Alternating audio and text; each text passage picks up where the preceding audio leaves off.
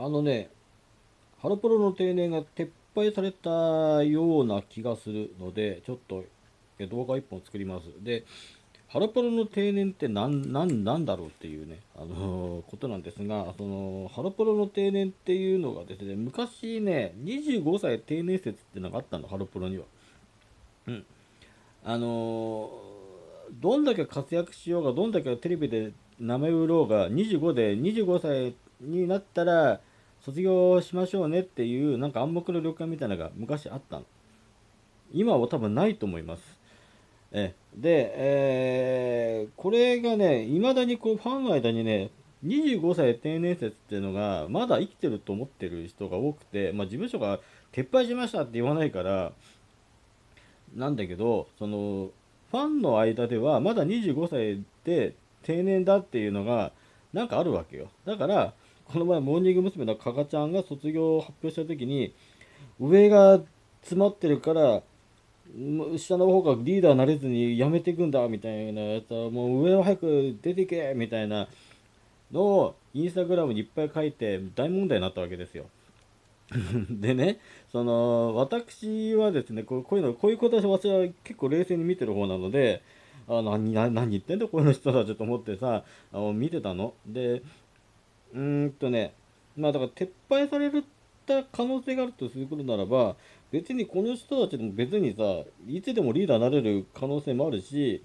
25、6、7まで行っても OK みたいな感じだとするならばこ在籍まあなんか上が伸びるわけでしょ？例えば小田さくらにしたってあと25歳定年説だったらら再来年には出ないといけないんだよ。なんだけどもう定年が撤廃された以上はいつまで行ってもいいわけですよ。だ中澤優子が昔ね卒業したのは27歳ですよ。初代リーダーのモーニング娘。中澤優子が。入ってきたの24だからね、まあ、中澤優子が入ってきた入ってきた年って。デビューした年。モーニングコーヒーとか。あれミニスカ履いてさチェックのミニスカ履いてさ5人でさ揺れながらさあのモーニングコーヒーとか歌ってた時があれあれで24よ。あれ24 卒業したのが27ね。だからモーニング娘。って意外と27年ぐらいまで行っていいわけよ、うん、だからいやその中澤優子が卒業した理由だって体力が追いつかないから卒業してたんだよ。してたんだよ。もうダンスしてもついていけなくなってたから卒業を決めたんだよ。あれ事務所から言われたんじゃなくて自分で決めたんだから。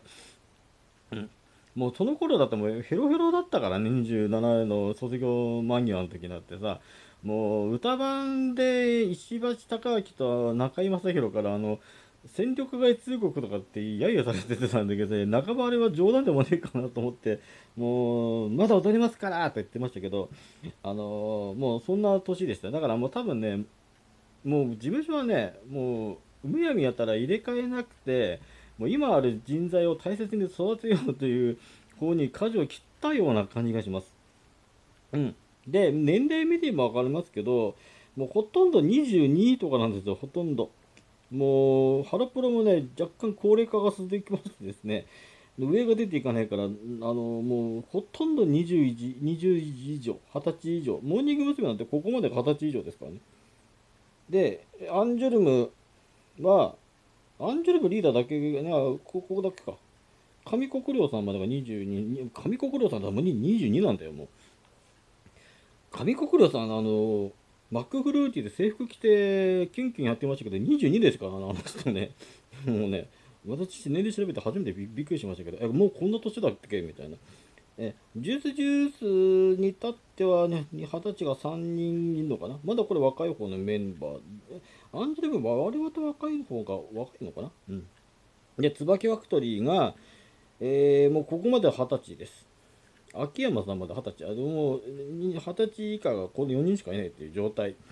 で、朝倉さんが来年の春に卒業しますから、22で。うん。ね。で、こんなんで状態で25歳定年説なんてやってたら、つばきファクトリーだと再来年でここまで全部抜けるんですよ。バッサリ抜けていくんですよ。モーニング娘。にしてみりゃ、あと2年でここまで抜けるんですよ、全部。抜けることになるんですよ。抜けるっていうことになっちゃう。なるなるわけですよね。うん、でもっと深刻なのがこの22 25歳定年説をずっとやっていくともっと深刻な状態になるのがえーと BEYOOOOONDS がここここここ、1、2、3、4、5、5人ぐらいいなくなる計算になります。うん。だから、もうあの事務所は多分25歳定年説っていうのを撤廃してるはずです。はい。えー、で、なきゃもう、あと再来年ぐらいにはもうメンバーが、今60何人いますけど、今本当に40何人ぐらい減るんですよ。バーンって。で、メンバーが減るっていうことは、お互い減るってことですからね、それはね。それだけ。お互い減るってお客さんが減るってことですから。今、ハロプロって、その、メンバーを増やして、その、新規獲得って言って、ハロータをこう、つなげ止めてるっていう側面があるので、あの、昔ほら、あの、東京タクシーがほら、あの、タクシーでほら、客が、その今ね、少ない場合で奪い合いして、増増車して奪い合いして、うんぬんうんぬんってやってたじゃない。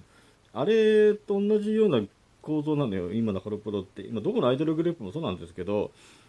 あの、ただ、のこれほら、AKB のところもそうでしょ。乃木坂さんのところもそうでしょ。乃木坂だってテーパーなんで、それで桜坂作って、日向坂作ってるでしょ。あれだけどんどんどんどん増やしてるのさ。あれどういうことかっていうと、その、メンバーを増やせば、そこにつくおたが増えるわけですよ。そうすると相対的にお客さんが増えるわけですよ。お金を落としてくれるお客さんが増えるから、やってるわけ。その代わりメンバー1個に対してのあの取り分って減りますよ、その代わり。だからグッズの収入とか減りますけど、うーん、減るんですよ。うん。ハロプロだから昔の東京のタクシーもそうだけど、台数増やせば、台数を増やせば増やすほど会社は儲かるのよ。運転手は手取りが減るだけだけど、会社は儲かるわけよ。うん、あのー、若干増えるから。増や増やせば増やすほどさ、走らせば走らせるほど。だってそれだけ、まあ、少ないながらも稼いできますから、運転手さんって。うん、で、100台、100台で、毎月5万、100台で5万稼いでくると、だいたい500万ぐらいでしょ ?1 日の売り上げが。それが200台に増やしたとすると、200台増やして、それが例えば3万だとすると、100台、100台で5、100、だからこれだね、あの、うんとね、100台で、あの、うん、5万稼いでくるとみんなで。運転したら平均5万稼いでくると、まあ500万でしょ ?1 日売り上げが。これをまあ100台じゃなくてもう200台に倍に増やそうと、タクシーの台数を。そうすると、取り分が減るわけですよ。やっぱりそんな人人いないから、東京だって 限られてますから。あの奪い合いが始まりますから。そうすると、だいぶそうでも3万円ぐらいになったとするじゃない。売り上げが、運転手の売り上げがここまで下がったとすると、会社としては600万になるんですよ、これ。600万。1日の売り上げが。で、会社は100万も、100万儲かるんですけど、運転手さんは手取り 2, 2万ぐらい減るという、こういう構造になってまして、バンバンバンバン増やして、それ、それそれで、東京に一時ものすごくタクシー増えたことあるんですよ。で、どこ行ってもあの、ほら、あの、客待ちのタクシーでずらーって並んでて暇そうだな、みたいなさ、あのー、で、これ東京だったらまだいいけど、地方な、地方でも同じようなことやって、あの、仙台だったら本当にあの、皆さんタクシー、誰も乗る人いなくてさ、そこから台数ばっかり増やしてたんで、運転手の通例が10万とかっていう悲しいこともな起きたわけですよ。うん。あんだけ働いても10万しかもらえないって言ってね。10万切るとき、新潟なんか10万切ってたんじゃないっけ？タクシーの運転手の1日の売り上げって。右月給って確か。俺なんかなんかドドドドキュメントでさ、新潟タクシーでさ、あの、8万っての8万円まで下がっちゃってって、えー、投げてたらいたよ。え、どうやって暮らすんだと思ったんだけどさ、手取りで8万だからね。新潟はさ、あんだけ1日走り回ってさ、新潟市内走ってさ、まあいいタクシーの話はどうだっていいんだけど、それと同じような現象が起きてたわけですよ。うん、だから減らせないんだよ。だからあの事務所としては減らせないんだよ。うん、で、その、なんでこういうことが起きてるかなんですけど、うん。ね、あのまあ、だから、道毛、昔、道毛さんも、ほら、次中桃子も、桃地レースも24歳で卒業してたんですよ。だから、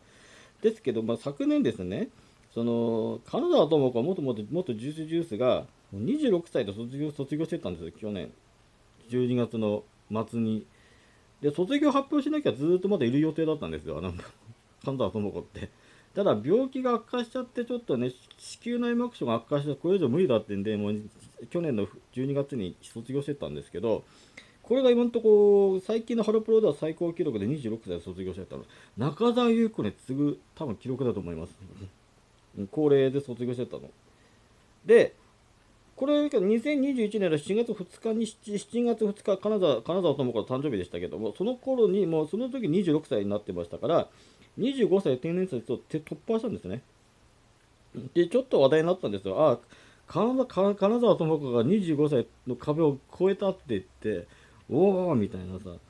いていいんだってそそそ存在していいんだっていうなんかそのどんだけ皆さんそれまで25歳定年説に縛られてたんだろう私らはみたいな事務所が1回もでもアナウンスしたことないんだよ25で定年ですうちはハロプロは25で辞めてもらえることになってますとか定年が25歳になってますとかって一言も言ったことないんだけど皆さん多分24歳のなる頃にもいないなんか申し合わせたかなに卒業していくからそういうふうに思われてたんですよ。うんまあ、だからこれね、まあ、去年の多分7月2日にもう25歳定年説は崩れたと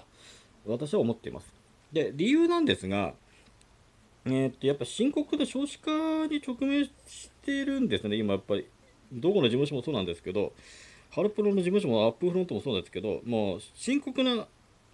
少子化なんです、今、今の、今は。あのー、今、ガクって減ってます、本当に。あの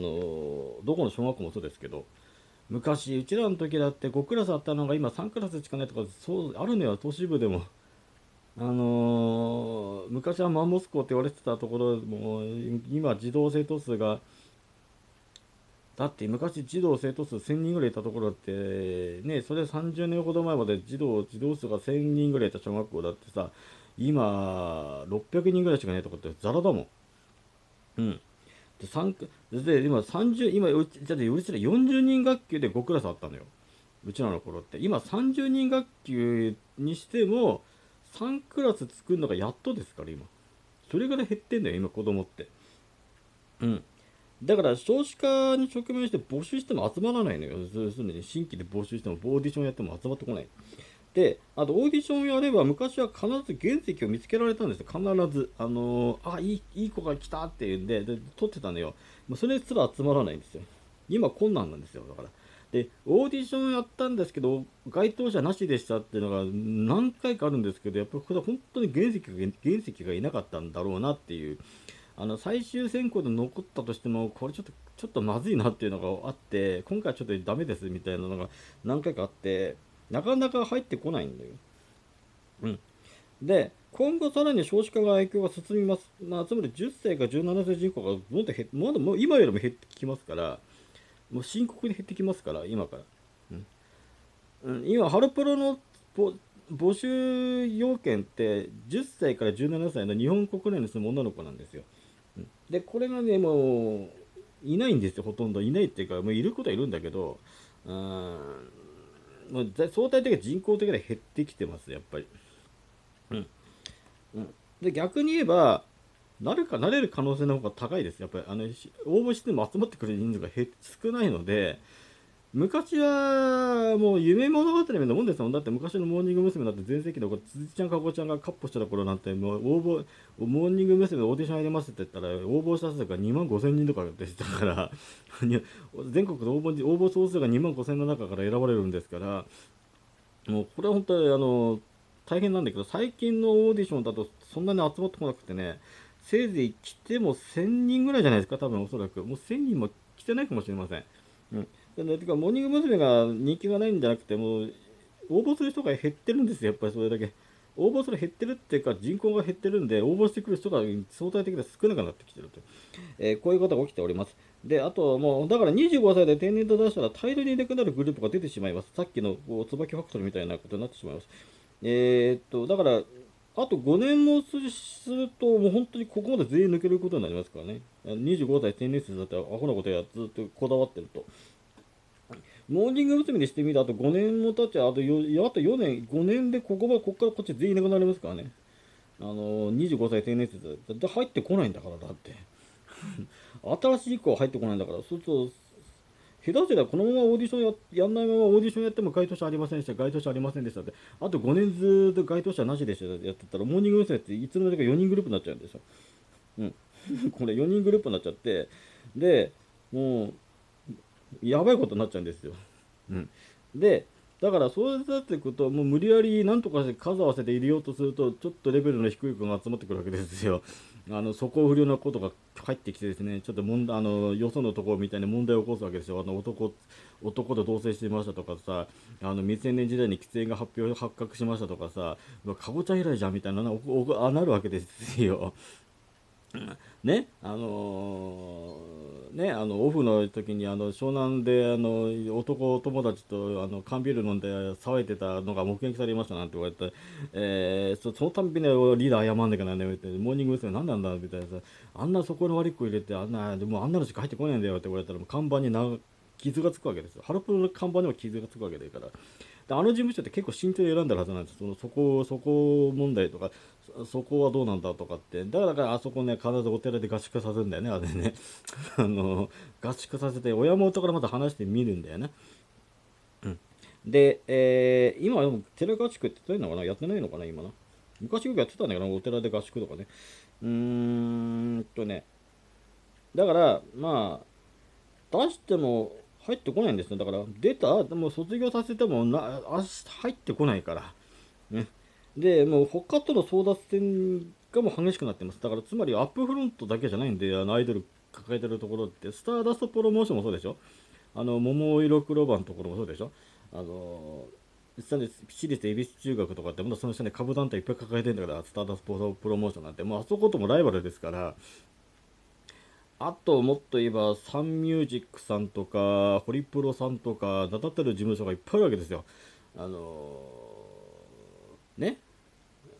ねそういうところがいっぱいあるわけですよ。名前パって太田プロさんもそうだけど。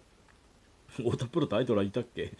で、えーまあ、それだからその乃木坂さん陣営とかあるわけですよ。あそことの争奪戦なんて乃木坂さんも今オーディションしか取ってないからいいんだけど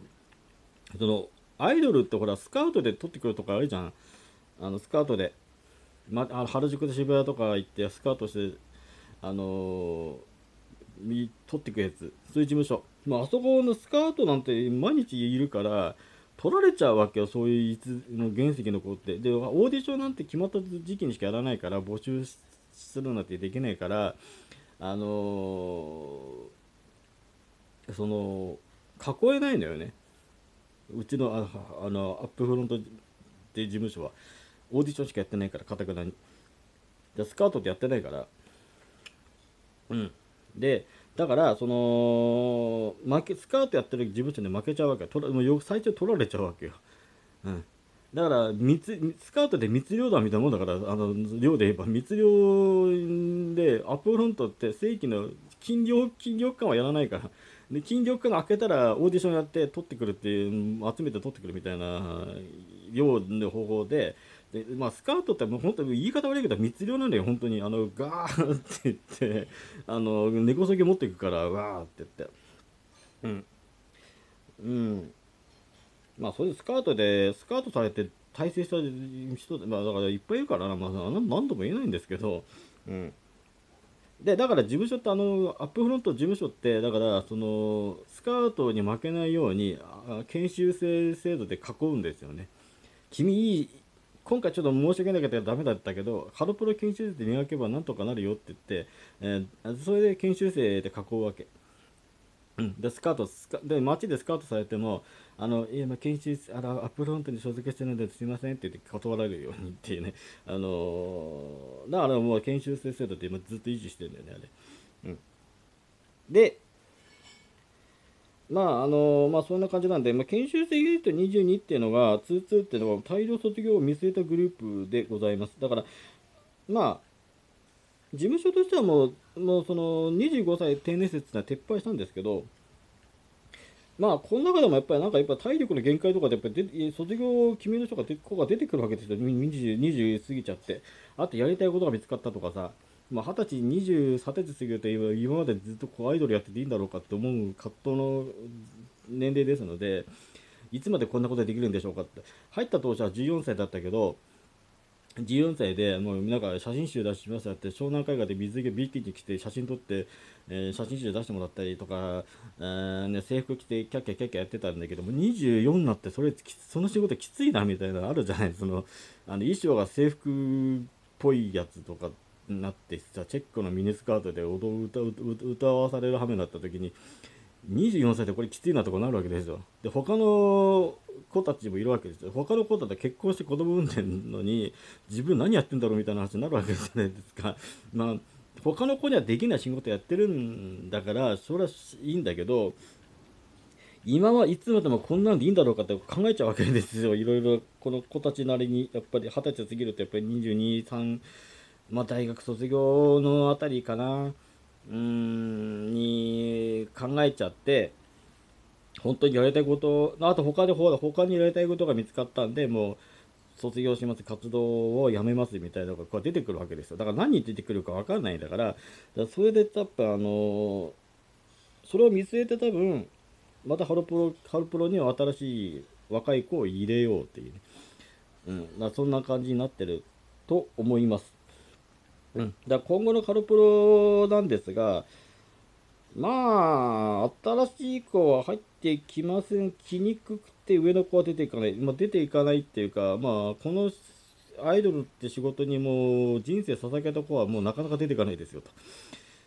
ね、あの そう思った方がいいです。あの前みたいにじゅんぐりじゅんぐり25になったらやめてってあ次の子がリーダーになって、えー、またその子が24ぐらい手前になったらまたやめてってまた次の若い子にリーダーが継承されてなんでもうそういう時代ではないのでもう皆さんが思ってるほど世の中そんな風にはなってません。もう世の中変わってます、うん、もう大体もう人口が減ってますからあのはい募集しても集まってこないんだからだって、うん、だからもうモーニング娘。も、その、新人の子で3人、あもうオーディションから3人取ってくるなんてゲートができたのはもう今から10年前で最後だった可能性がありますよな、やっぱり。うん。あれだ、取ってないもんね。だだあので、9期の頃だってほら、福村さんはもう自分のところの養成機関にいた子だから、生田さんとか、鞘師里穂さんとか、あと鈴木香音なんて、あれ、一般だから取ってきたやつでしょ。3人、同時に3人入れたらって、あれ以来、あれ以降ないのよ。10期は、だって、飯久保さんと石田さんでしょ？あ、佐藤正樹か。あ、3人か。あ、11、11、10期が最後か。10期が最後だね。うん。あと、そっから多分あのー、一人加入とか、一般2人加入とかだもんねやっぱり12期なんてそうだもんね12期なんてうん尾形春菜とも辞めちゃったけど、まあ、YouTuber やってるけど、えー、野野中美希まだいるけどこの2人だけだもん一般で入ってきたのね。でだからだんだん一般で入ってくる同時にオーディションで取ってくる子が同時にデビューさせるっていうのがもう減ってきてるわけですよ。それで見てもやっぱり。それ言ったらモーニング娘。になって9キロ以前になってほとんどみんな一般から撮ってましたから、で、同時、同時に4人、4人とか撮ってきてたでしょ。釣りちゃん、かごちゃん、吉田は瞳、石川理香とかさ、うん、高橋愛ちゃん、新垣梨沙ちゃん、小川誠ちゃん、今度あさみちゃんなんて、あれ全員、4人一気にドンって。だから、あの頃まだ人が潤沢にいたのよ。10歳、17歳人口って、まだ潤沢にいたから、ぼじゃその時から応募すりゃ、募集すりゃ数万、1万何千人ぐらい募集があったから、もうよりどりほれ選びでこうだったけど、今本当に来なくて、よりどりみどりじゃないんだよ、本当に。厳密で先生悩んだ悩んで悩んでどうしましょうって言って、ようやく入れたのが1人ですから。この前の オーディションでようやく入れたのが1人ですから。でもこんな状態ですから、今。本当に。あの大変ですよ、だから。うん。だから、まあ、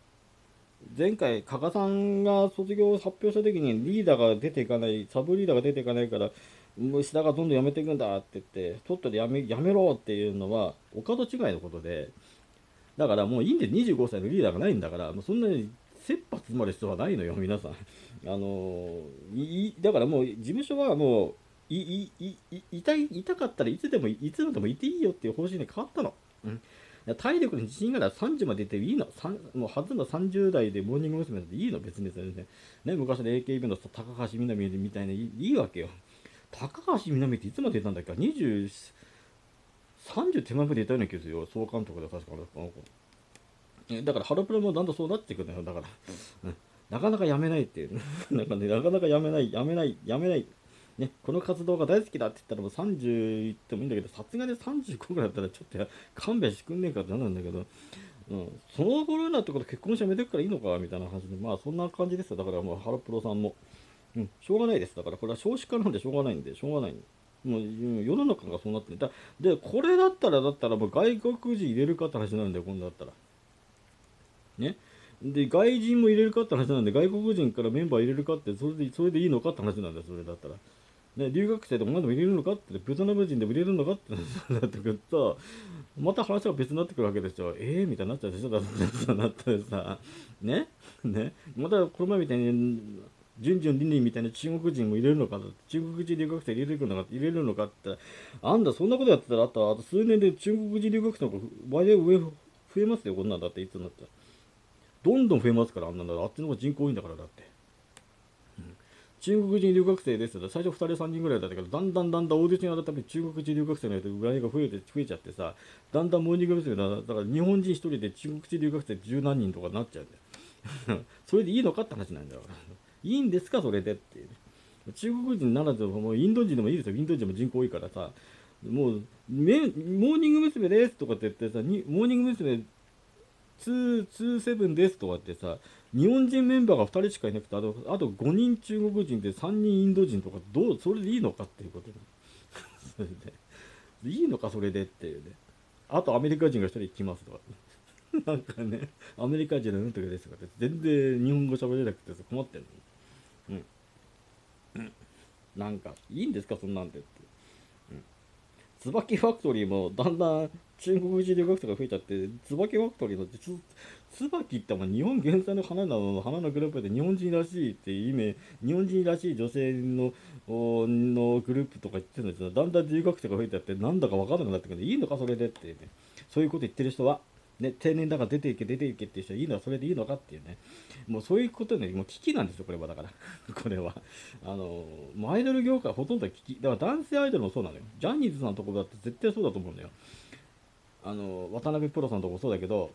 ジャニーズ事務所だって同じ悩み抱えてるよ。だって集めたって来ないんだからだって人いないんだもんだって。だから結局それでなんか多分おそらく、その、あそこもなんかオーディションやって集めてきて適当なのを入れて、入れてみたいなことも想像、昔はできなかったんだけど、今はもうそれ、それだってグループ数、メンバー数を維持するためには、手数を増やすにはそれをやるしかなくて、うんだと思うんですよ。うん、そんでもって、だから今本当に、えー、ジャニーズさんも昔に比べりゃさ、メンバーの名前言われても、え、誰って言われる、若い子ですら、え、誰って言われる、メンバーの名前全員言えないとかさ、あの、ストーンとかの名前全員言えないとかで出て出てくるわけでしょ？スノーマンの全員名前が言えないんですっていう、若い子ですら言えないっていう時代が来てまして、うん、もうやみくもにあそこも多分メンバーいっぱい取ってきてやってんだけど、うん、そんな感じじゃないかな、そこも女子、男子関わらず、本当にこう少子化っていうのがここまで深刻に、だからこういうところでも影落としてきてるのね、少子化ってやっぱりに、うん、まあ、全員が全員アイドル目指すってわけじゃないので、ねえあのー、なんか今、ロッキンとか出てくるじゃん、モーニング娘。とかアンジュルムとか、あのああいう畑違いのところまで進出進出するじゃん、女性アイドルグループで。もううちのとこ以外にももう乃木坂さんともそうだしやっぱああいうのでさやっぱりでかいステージでさアウェーなのにそのアイドルグループが出てきてあれだけ盛り上げられてわーなんて言ってさそれ家族連れが見に来てるわけじゃんそういうとああいうところってやっぱり。そそしてそこでちょっと憧れを持ってもらおうっていう作戦もあるんだと思うよこれ。うん。うん。アイドルって。うん。その私もなりたいっていう興味を示してもらいたいからああいうところ出てくんだなっていう。そのアイドルフェスフェスティバルってその手の人間しか来ないからあのアイドルフェスだとほらいつものおっさん いつものファンしか来ないじゃん。でもロッキングとかなんとかロックフェスティバルとか今これこのま今度は稲妻ロックフェスティバルありますがああいうところだと客層全然違うからね。家族連れとか、本当ロロロックバンド見に来た人とか、たまたま通りかかったとかってなんか面白そうから見てみようってなんかいっぱい来るわけですよ。家族連れで。でああいうの見てあのステージでダーンって出てうわーってやってるの見るとああなんかそれでお嬢ちゃんがいると私もああいうのなりたいって思ってなってくれる人がいる。で興味を示してくれる人がいるわけですそんでそれでそこ100人ぐらいその中でああ私アイドルになるって思った人があの100人のうちで 100, 100人のうちあと5年10年アイドルになりたいってオーディション受けてくれた人が1人でもいればいいわけだそれで、うん、そういう感じでやってると思いますだから。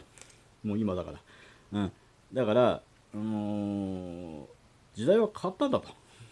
え思った方がいいです。はい。皆さんもぜひあの25代だから25歳定年説ってもうないと思ってくださいもう。これもいけばでもあとあとまあ